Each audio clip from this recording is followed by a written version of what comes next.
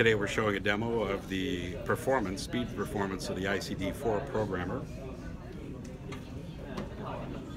In this environment we have two identical boards with PIC32s and uh, we're going to be sending down a 2 megabyte image and compare the, um, the programming performance between the ICD-4 and the older ICD-3.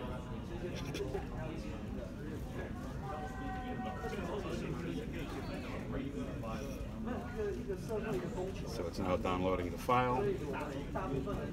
Again, everything in both setups is identical.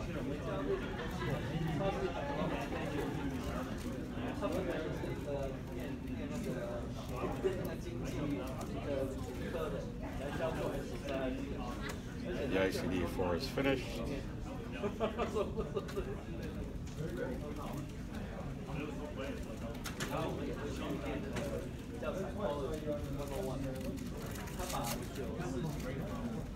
And it was about twice the speed of the ICD-3.